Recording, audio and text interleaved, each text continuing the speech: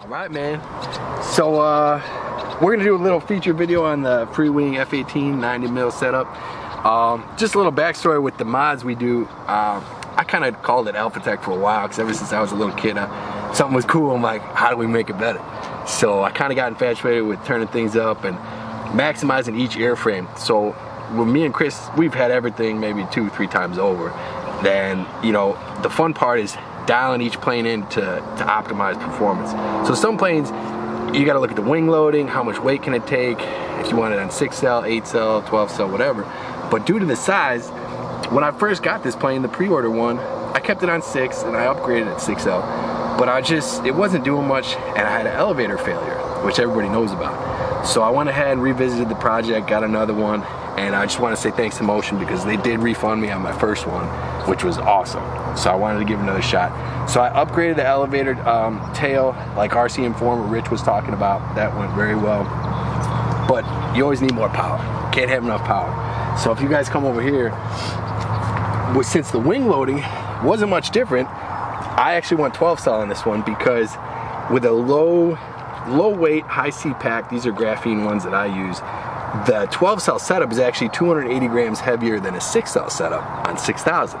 So granted, I'm able to kind of offset that with more thrust, but less throttle for more efficiency.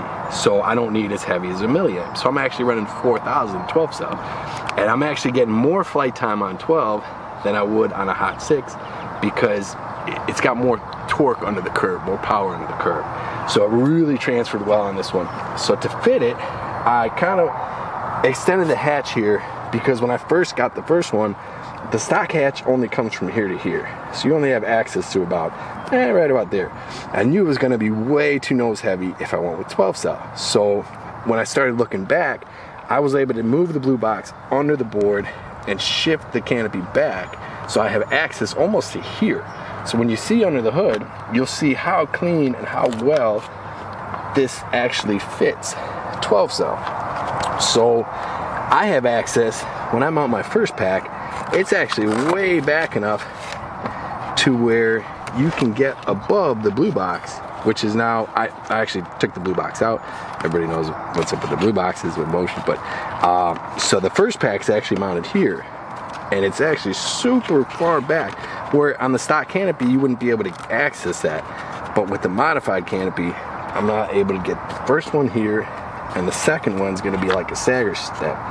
So the second one fits super clean right next to it. So I got my little CG marks here label on the black here label on the black there. So when I do lock it down it's per and the CG is perfect. Now, the manual calls for 85 or 88 millimeters back from the leading edge, which is way too nose heavy. Uh, in my experience, F18 is like an aft CG, so I kind of knew that going in. But uh, I talked to a couple guys and I started 100, work back, and they couldn't be more right. So I'm actually at 105, uh, which is perfect. It's all the way far back, and it's dead on.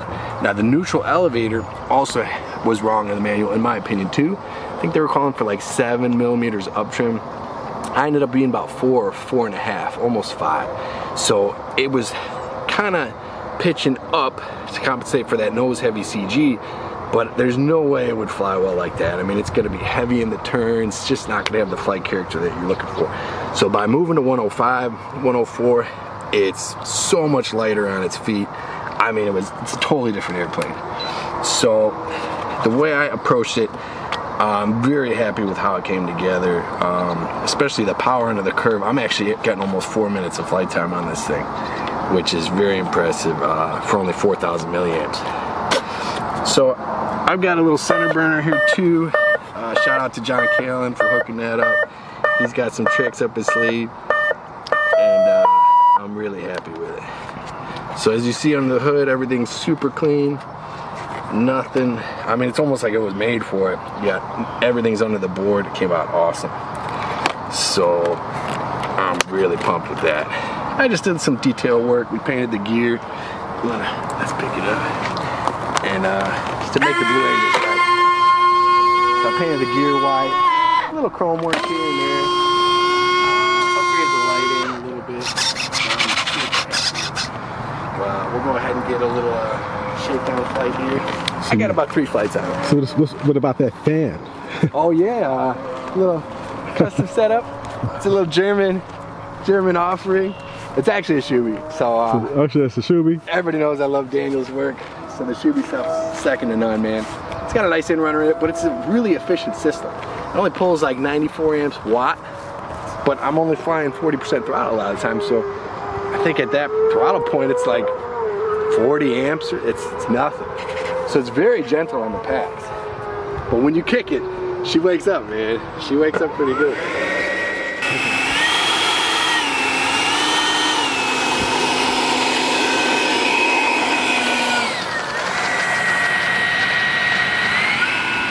Yeah, man. the 12 cell setup, it just rotates like it should. I mean, super scale. Get it with that roll, with that front light. Hell yeah.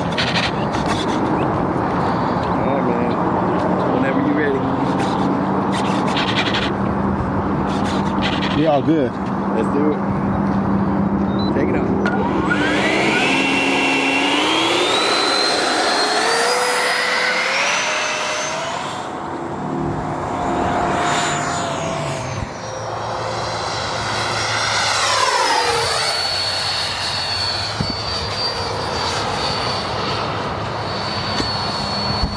It's just so much lighter in the turns. I mean, it doesn't take any throttle at all to keep moving.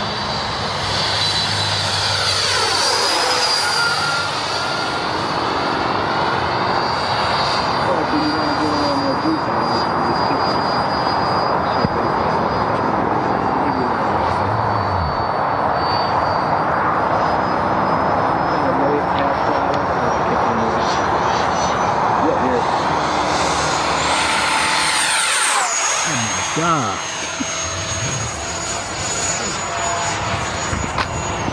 Yeah, that's what it's all about right there. Yeah, that's that.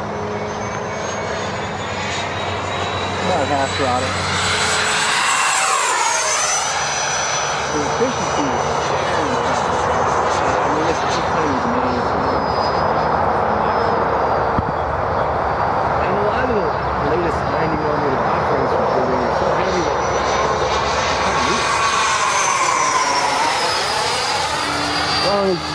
your re servo resolution's good and you're not going too heavy with the you really can't do it. Uh, 40%.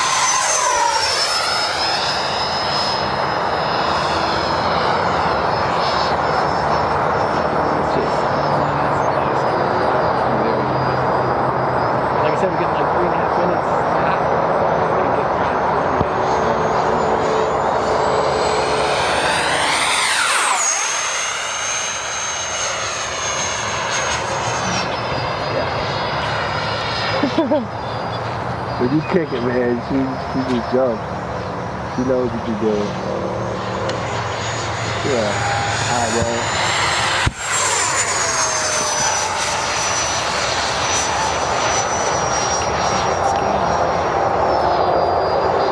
I did do like three coats of clear on it to give it a little sheen.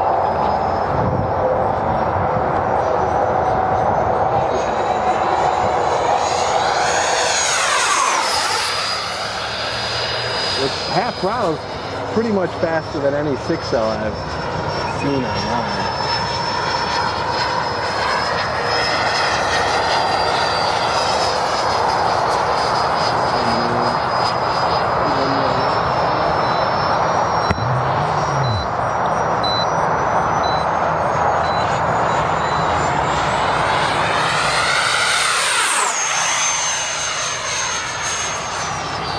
We'll bring it in. They got a nice uh, flap to elevator mix in it. Makes it really predictable coming in. He just lands like a sweetheart thing, man. And that's even with the way the shelf stuff set up. Upgraded the landing light.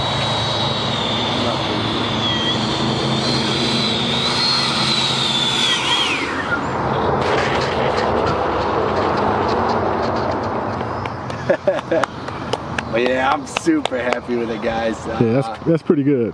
yeah, man. That's and like I said, I'm I'm more blown away with the uh, the power under the curve and the flight time.